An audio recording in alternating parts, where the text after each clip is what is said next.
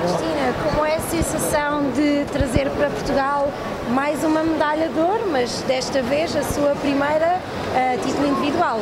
Sim, é maravilhoso, uma sensação extraordinária.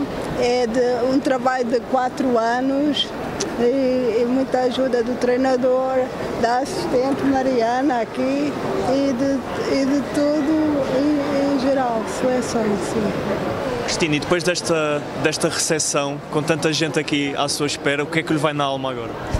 Olha, é espetacular. É, é, obrigado pelo apoio, pelo público. Estou muito agradecida a todos. Quer dedicar essa medalha a alguém, já que estava a falar em dedicar a medalha?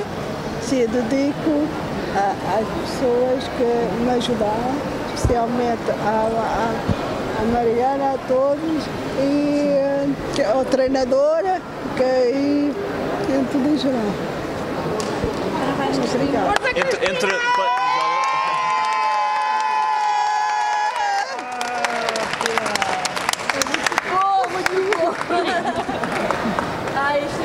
Cristina, só mais uma pergunta. Depois de tanta, tantos Jogos Paralímpicos, o que é que fez a diferença nestes Jogos para ganhar essa, essa medalha?